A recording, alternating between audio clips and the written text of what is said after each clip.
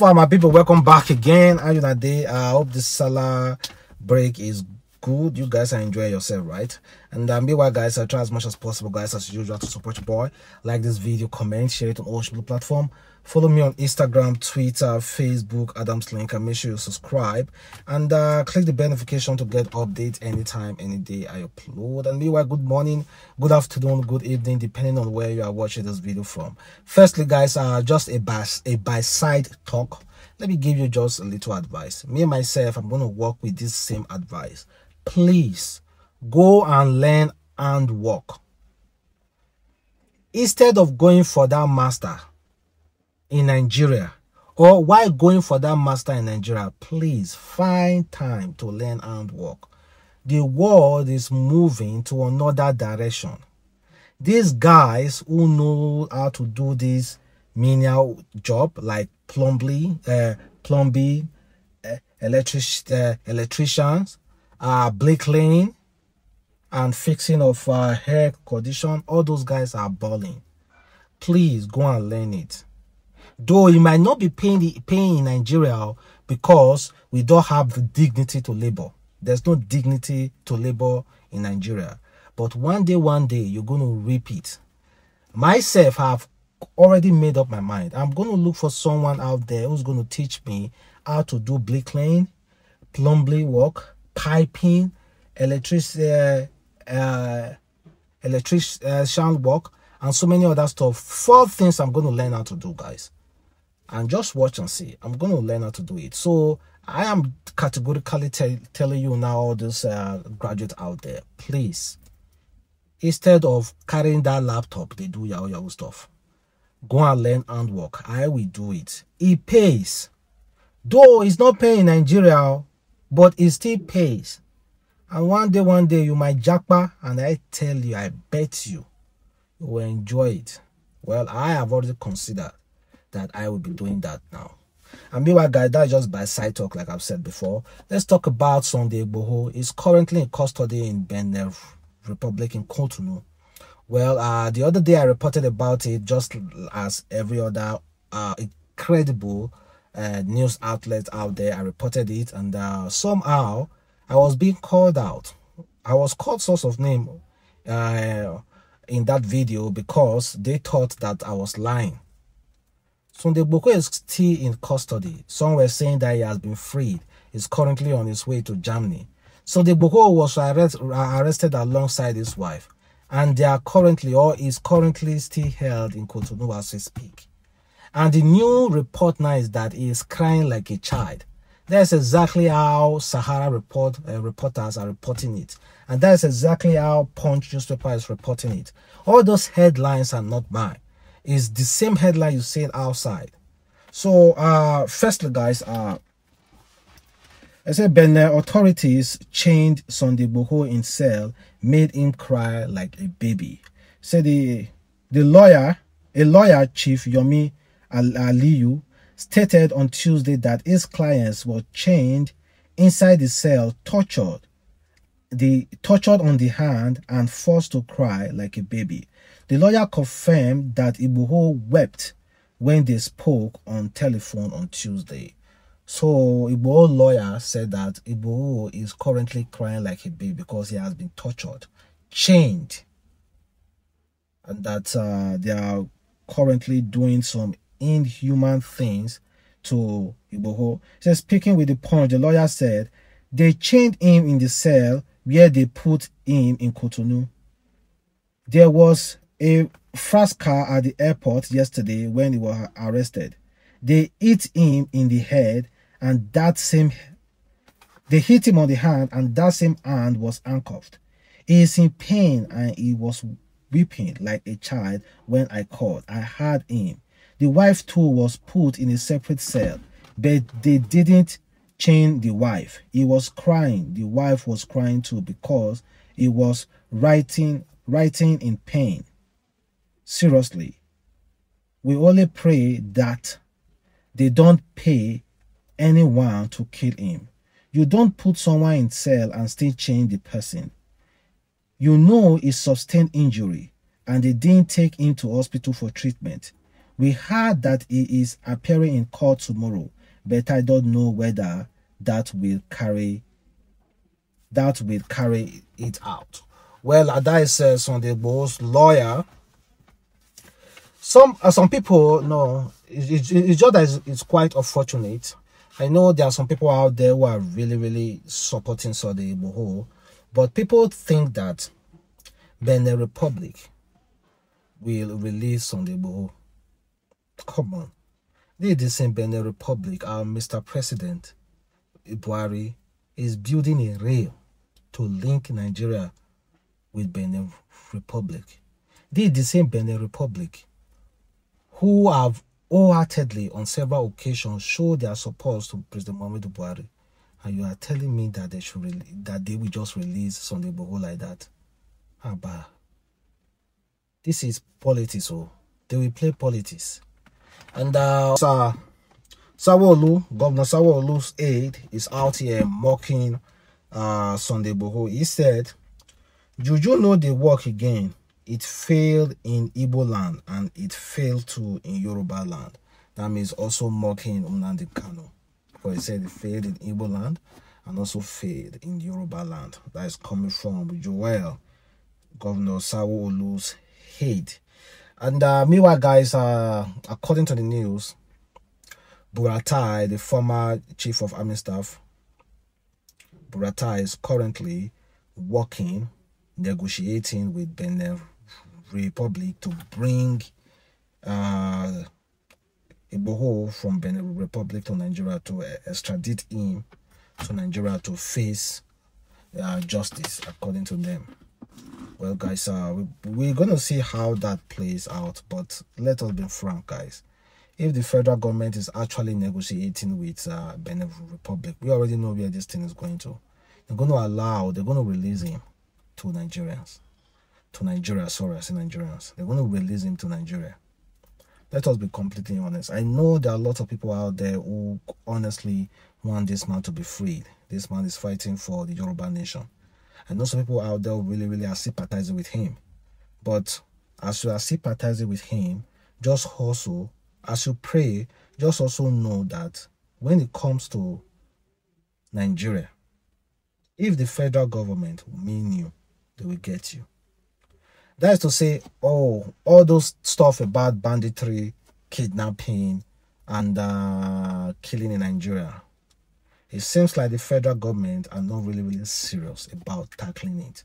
Because if they truly, if they truly, was based on my personal opinion, and uh, you are free to act on it or not, and uh, also it's a disclaimer.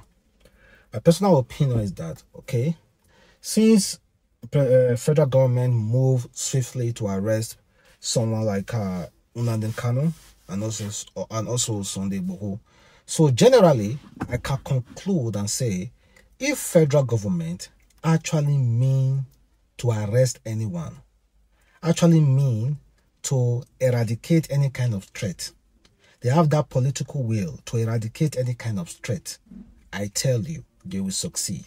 So kidnapping, banditry, and so on we have in this country, if the federal government are actually serious about it, they definitely will hand it. So is it that they are deceiving a lot of us? That is the question that I am asking right now. Is it that they are deceiving a lot of us because they can move swiftly to arrest someone like uh, uh, also Sunday Igboho. I know some of the excuses will be like, oh, banditry are not, it's not one person, like they don't have this group. They, there's no head, overall head. And also kidnapping, there's no overall head. But I still think if the federal government have the political will to go after them, they will still end any kind of banditry, any kind of threat to Nigeria and to Nigerians. Well, what do you guys think? Like I've said, that is based on my personal opinion. And uh, meanwhile, guys, uh, check out this incredible video. I really, really love this video. In fact, let me just play it for you because uh, it's explanatory.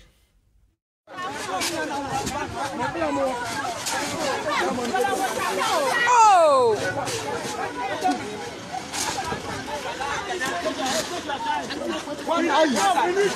We need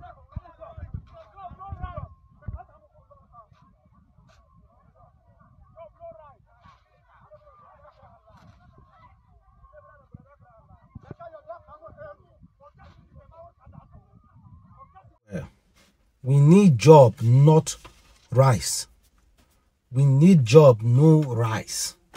Well, if you are wondering where this video is coming from, no, it's not in Nigeria. Apparently, that video was taken in Ghana, but we do not know the month, the week, the day, or the year, but it was in Ghana. And of course, you know, one of our heart desires and as Nigerians is a time will come, we will start rejecting any kind of promises, any kind of palliatives, any kind of food, salt. They usually do that every election. Let me tell you, if they give you one bag of rice during uh, election seeking for your assistance so that they can you can vote for them, I bet you, let me just tell you the truth and this fact I bet you I should take that bag of rice eh, and they win that election. You know, you're going to, the number of days that you're going to suffer on this heart, or the number of time, you will start counting that grain of rice. That grain of rice will act as per second. So guys, just know, as soon as you collect that grain of that bag of rice, your days of suffering has just begun.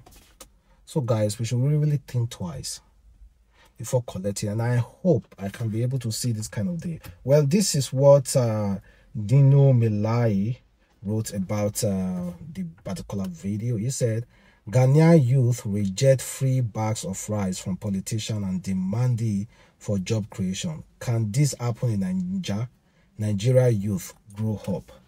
Dino Melaye don't tell us as if you are not guilty of this. In one time in many times you have also giving your constituencies, your constituency food, palliative in order for them to vote for you. Let us be completely honest. No politician is is is is, is a saint in this country. That is my own conclusion about it. And meanwhile, uh, talking about politics, President Muhammad Buhari celebrated Salah, uh, went to Eid in uh, Katsina State, Daura, the village. And uh, guess what? He decided to walk back home trekking and uh, people came out were really happy to see him. We're hailing him. Say baba say baba say baba. That's why that, that is what i am always saying. What can you tell a man whose his own people are so much in love with him? What else can you tell him? You can go on social media to run but if this kind of man go around seeing people clamoring really, really happy to see him then tell me how can you relate or tell him that you are suffering on Twitter? Let us be completely honest. It's not as if I'm supporting it. All. Oh. It's not as if, oh, I'm not suffering. Oh. I'm in it as well. But just be open-minded. What can you tell Mr. President Muhammadu Buhari that you are suffering? When people, when people like this are coming out to greet him, to be happy with him, and uh, to clamor with him you, you understand? To see a lot of people trooping out like this to celebrate him. So this kind of man, you're going to come on social media or Twitter to demand for good light, good food, all those kind of stuff. Uh, it's not as if I'm supporting us, so don't misquote me. We are just having a discussion about it. I find it that a lot of people misquote me nowadays, and I try as much as possible as well to see explain to you that don't put your frustration on me. We are both frustrating as well.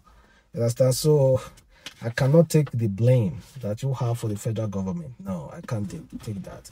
So we're just going to have a discussion and look for a way forward for Nigeria's sake. And then check out this video of uh, a Nigerian living in Australia, Austria. Well, he was quite disappointed seeing Super Falcon coming to Austria to represent Nigeria. So he took the liberty to take a video criticizing the Nigerians, the Super Falcons who were there. So, guys, uh, let me play you the video as well. Speak to you. I want to speak to you people, please. I'm also a Nigerian. I live in Vienna. I seek uh, a soul here in Vienna, and I'm living here for over so many years. and you people are representing terrorist government. You Nigerian you should be very ashamed of yourselves. Every one of you here should be very, very ashamed of yourself. I will speak to you. You should, you, it, it, this can't happen in another European country that their youth are representing a government. Stay quiet, stay quiet, stay quiet. A football, a football team should know that we are, we are not, we, we, we, we are suffering the youth of Nigeria. Over 10 million youth, Nigerian youth are abroad doing nothing. And you people who are supposed to know the truth are representing Buhari, kidnapping his citizens, killing youths. Hey, listen. Excuse me, stay quiet, Mr. Man.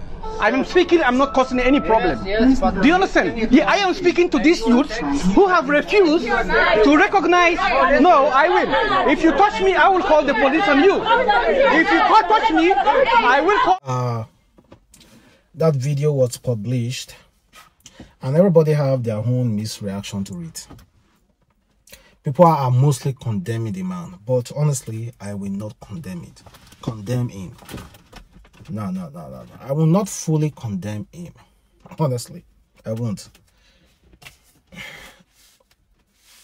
You know why? I don't know what he has been through. Let us be sincere. If UK is going through the quarter of what we are going through in this country, do you think anybody will represent the country called UK? If USA is going through the list of what they are we are going through in this country, do you think anybody can proudly carry the USA flag? Let's be completely honest with that. All.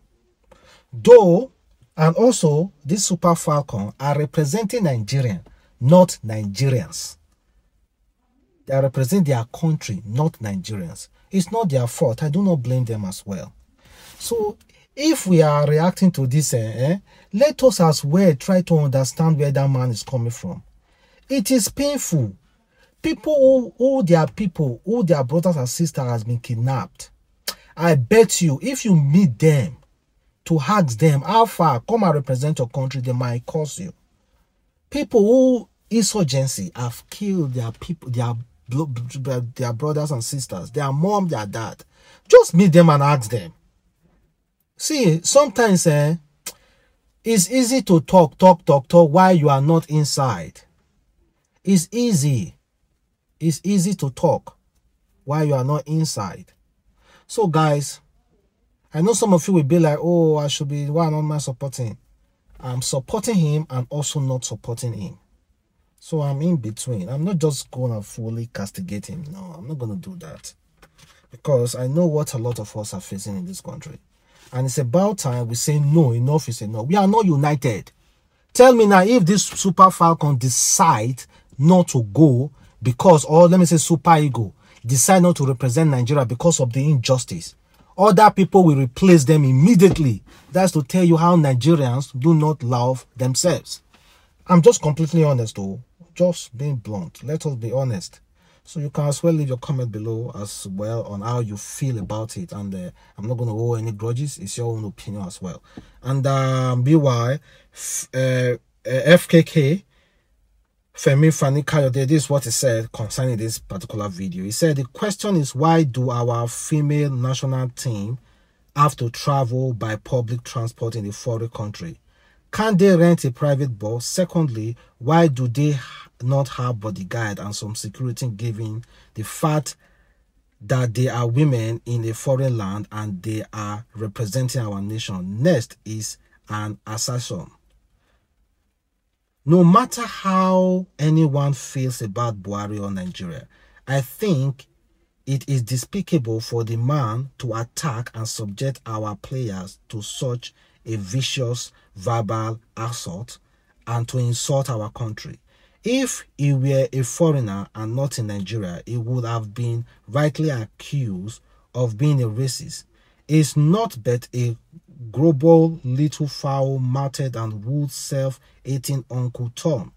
Is what Malcolm X called a housing end. I despise such people. If things are bad at home, at home, does that mean every Nigerian must be insulted? Does this uh, this man have no self-respect or sense of uh, patriotism or decency, things may be tough in our country and we may be going through hard times, but no one has the right to insult, humiliate, threaten, talk down to and treat all our our people with contempt and disdain. Well, he said a lot of things, but like I've said before, if you are directly have been affected with this insurgency and kidnapping, and your person have been directly involved, honestly, you will think twice. Yeah? But all the same, God help us all and God show us the way. And uh, to end this video, let's move to entertainment. And this one is coming from Wizkid Baby Mama. Someone asks her, a second baby mama, someone asks her, King Ayo is getting black. Please try to do something. Love you. Uh well, she responded saying, I'm literally getting sick and tired of hearing about my son is getting black. Like, really? It's summer out here and it's hot as hell. And he played outside every day and be at the pool. So, of course, his skin tone get darker during summertime.